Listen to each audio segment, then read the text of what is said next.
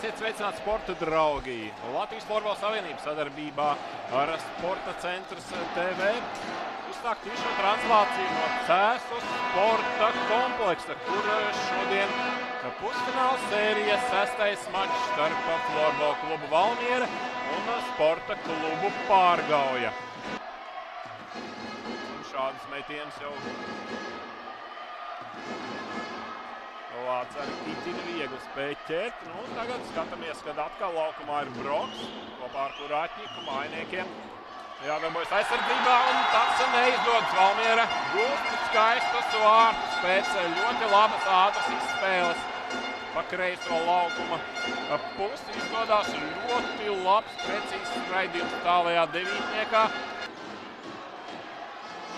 Un Broks netrāp no vārtu priekšas sarežģīta piespēle, kur atņika izpildījumā. Liepaņam jācīnās par bumbiņas atgūšanu. Tas izdodas. Sekmīgi nospēlē viņš pret Rejēcki. Tagad diagonālis, kur atņika vārtī. 2-0 izmanto skaitlisko vairākumu viesi un palielina savu pārsvaru sērijas sestajā mačā. Itin viegli izdodas realizēt skaitliskā vairākumu kombināciju Valmierai. Mārtiņam neļauj pacelt galvu, lai meklētu partnerus laukuma vidū. Tagad Laiviņš var iesākt savas komandas pretuzbrukumu. Tālu piespēle uz Emīlu Eglīti. Un šeit samīšanāšanās un vārti. Lūk kādā, varētu pat teikt, nevainīgā situācijā. Valmierieši zaudēja vārtus, bet tas viss sākās ar tālu Ingas Laiviņu piespēli uz vārtu. Valmieras vārtu priekš, kur lieliski nocīnās Emīls Eglītis. No 40 sekundes viņiem laika spēlēt skaidriskajā mazākumā atlicis Juršēvskis, Ābols, Lauga.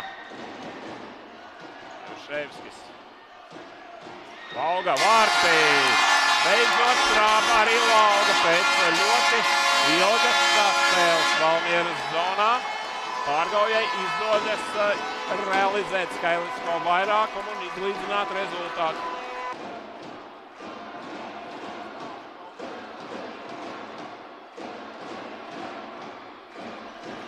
Liepiņš.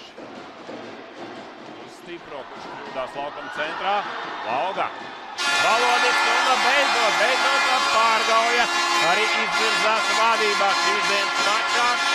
Valmierieši pēc kļūdas savā zonā atved vārtus.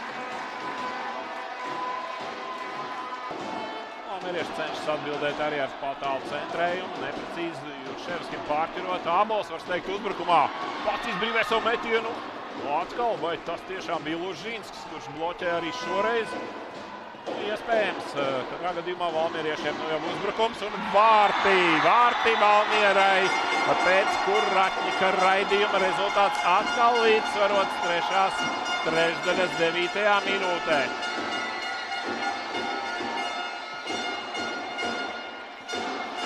Skatītāji nedaudz var atvilkt elpu, jo tiešām pēdējās pāris minūtēs viens moments pēc otra pie abu komandu vārtiem.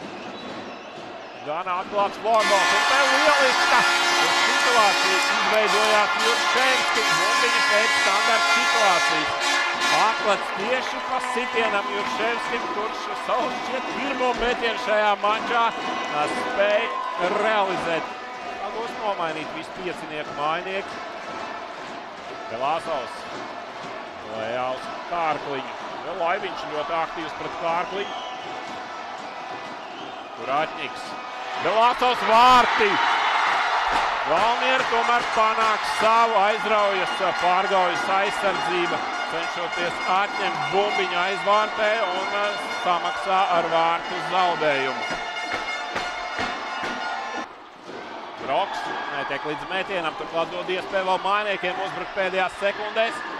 Neiziet piespēle līdz Jurševskim, tā jau Kuratņiks! Ārājs, nu Vācargi, Vācargi ir glābēji pēdējā minūtē, kā rogains. Tā ārājs praktiski likvidē izgājiens vienatnē uz saviem vārtiem un noved spēli līdz pagarinājumam. Jau pamatlaika pēdējā minūtē gājienā viens pret viens. Vīns nespēja pārspēt rogaini, arī tagad nesenāk metiens Bilāsovs. Izdara patāvu raidījumu, Rajeckis bloķē, atkal Bilāsovs. Spēlē stūri Ieglītim.